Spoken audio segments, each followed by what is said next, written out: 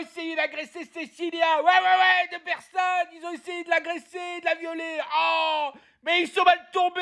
Elle est spécialiste des arts martiaux. Ah, i, ou, ah, i, ou, ah. Eh ben ouais, elle en a pété un et elle a cassé le nez. et ils sont partis au courant. Bah ouais, ouais, ouais. Bah des fois, tu tombes sur plus fort que toi. Hein. Ah bah ouais. Hein.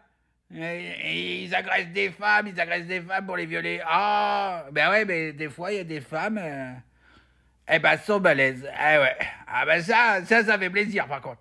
Ah, il aurait dû casser le nez, casser le bras. Ah, ah.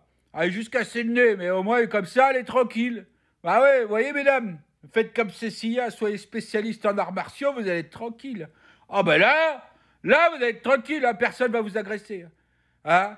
C'est ce qu'à un moment, il va falloir faire, je pense, parce que avec toutes les agressions qui se passent en France, là, toutes les secondes, toutes les minutes, là, il va falloir que les femmes se spécialisent en arts martiaux. Ça, ça, ça, c'est l'idée du siècle.